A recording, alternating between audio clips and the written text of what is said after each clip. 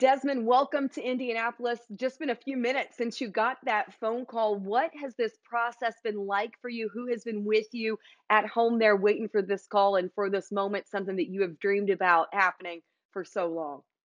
Uh, I mean, it's pretty. It's been a pretty long process, um, but I mean, I'm happy with the way it worked out. I've been here with my both my parents, grandparents, um, sisters, aunt and uncle, and my little cousins. Um, you know, kind of trying to keep it small. It's not really, you know, times like this, you're not really allowed to have a lot of people.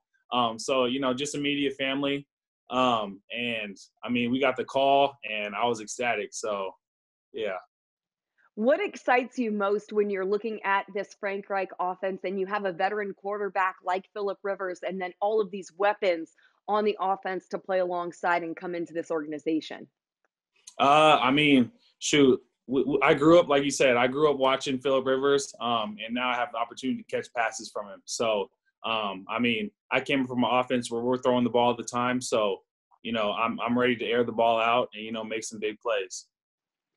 You grew up in San Diego. You mentioned it. You've trained in California. You did some of your training ahead of the draft with Joe Burrow, who went number one overall. How valuable was that experience? I believe Michael Pittman was also training in in the same uh, facility as well. How beneficial was that in preparing yourself to make this next step? Uh, yeah. So, like you said, I already got some chemistry with you know Pittman, um, and you know we're the receivers that got drafted, so that's pretty cool. Um, and then obviously again, you know reps with uh, Burrow and all these other quarterbacks that got drafted. So um, you know, just kind of getting up to their speed. You know, everyone's such a high level. Um, so it's great to, you know, work with guys of, you know, NFL caliber as well um, and just getting better every day with them.